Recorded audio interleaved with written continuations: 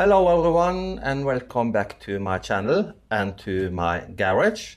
Here is my Honda CB500X 2019 model, the Grand Prix Red One, ridden it 40,000 kilometers. So I have a lot of experience with this bike. Now my local dealer in Haugesund, Norway, uh, got one uh, new bike, the 2022 model of this bike.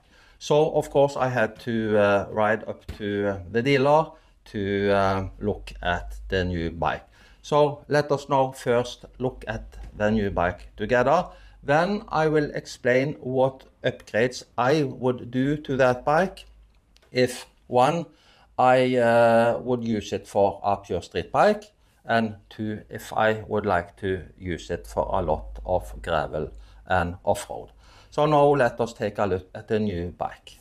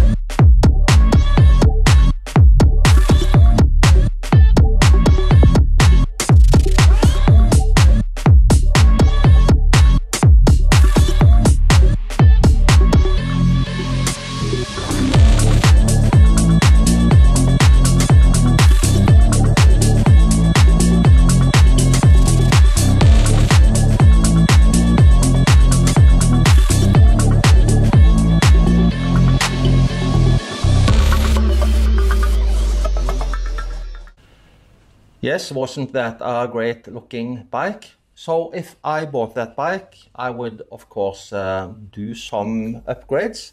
And uh, for street use, I would buy this windscreen. Uh, I bought first a wind extender for my uh, bike, but I have now bought this Puig uh, touring windscreen. And the reason for uh, that is that the standard screen is a little bit too low, even in the upper position. So I got a lot of wind buffeting around my head.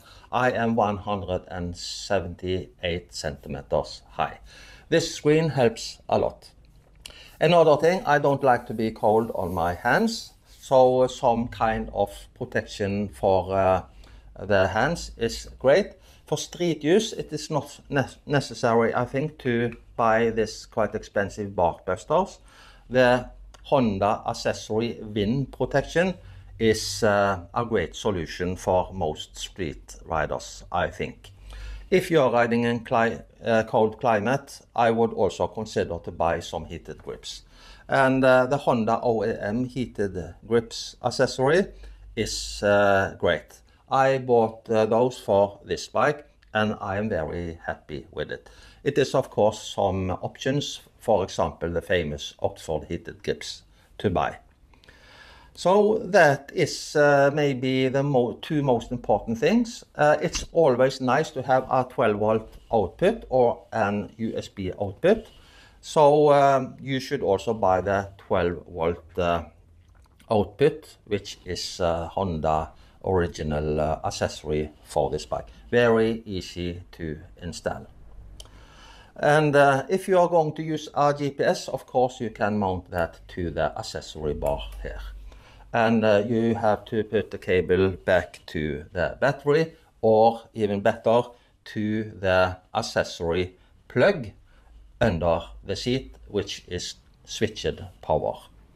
I have uh, also mounted a RAM ball for my mobile phone, phone X grip but you may also use that RAM ball for an Zumo XT GPS unit, of course. Luggage, you are probably going to bring with you some luggage and there is a lot of options, so I don't want to go through all of those. But at this bike, I have mounted the Outback Motor Motortek, Motortek uh, racks, which looks good and has great functionality. So that is uh, probably all I would buy for street use.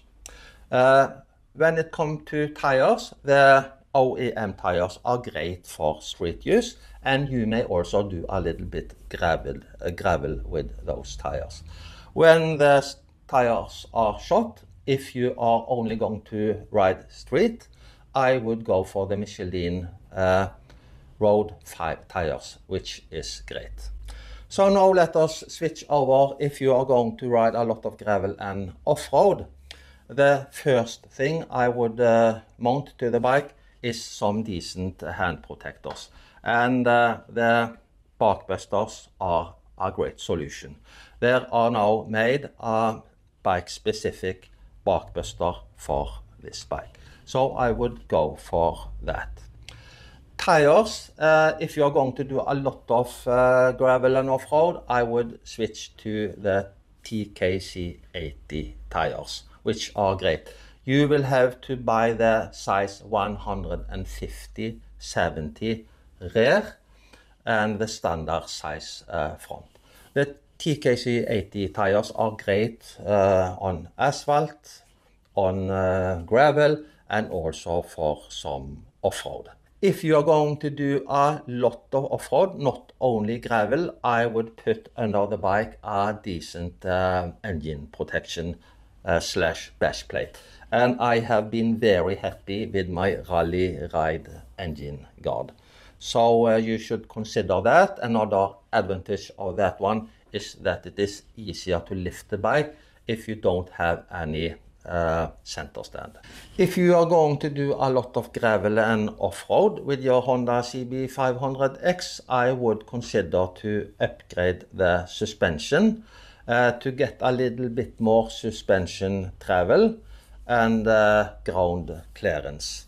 And I think that Rally Raid products in the UK will continue to offer upgrades to the suspension. So uh, I would uh, go to their website and uh, look there when and if there are upgrades to the suspension. It may also be offered some spoked wheels. The wheels of the 2022 model is also cast wheels. So if you are going to hard off-road, you may consider to uh, get some spoked wheels. So that's all. So now let us look a little bit more to the new 2022 model. See you in the next video. Bye bye.